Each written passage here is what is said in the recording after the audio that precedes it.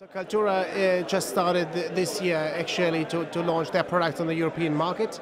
And uh, now the time is the right time to, to launch a platform like Kaltura is offering uh, as the demand for video for universities for education is growing as a fast growing path.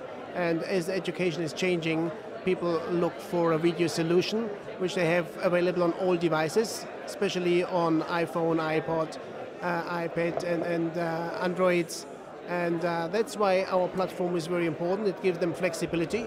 It allows them to comment and uh, to make a right introduction, the next move in the way of education works. And our Kaltura could help a lot in giving the next level for education for students. For the German market right now, education is something where they really start thinking about video. And uh, so we, we could bring in our experience of uh, we made in other territories so we could help the European and German market specifically. So we're going now after universities introduce our product.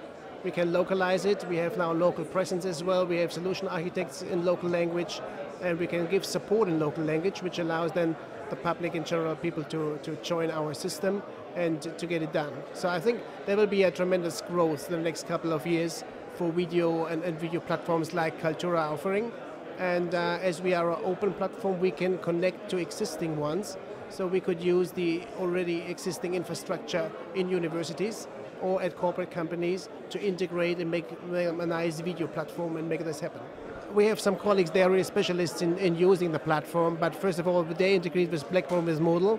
Uh, so the professors, they're doing their presentations, they make their testings, and uh, they allow their students to watch the videos at home to be prepared and getting the lessons later on done in their specific areas.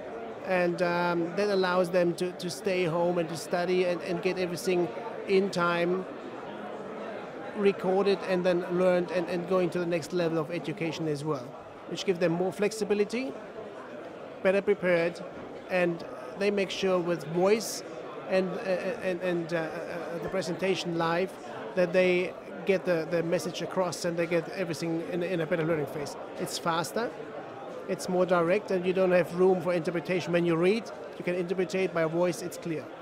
For corporate companies, we have a SharePoint plugin. They can use SharePoint as their, their local source. Uh, we can integrate with our platforms. They have a single sign-on Active Directory activity, so SharePoint will allow the employees and students to connect to their libraries they have already. And uh, we make sure that the existing infrastructure can be used in addition to it and we make videos available which are already existing. News will be brought in the content and they can use their systems without having another sign-on and video will be part of the collaboration and of the daily conversation within the group. That makes life easier and as, as video is becoming the main factor of education, of product training, of uh, employee training, this will help a lot as well to influence the go faster market uh, approach and to make sure that people understand what they're talking about and getting the feedback to it in addition to it.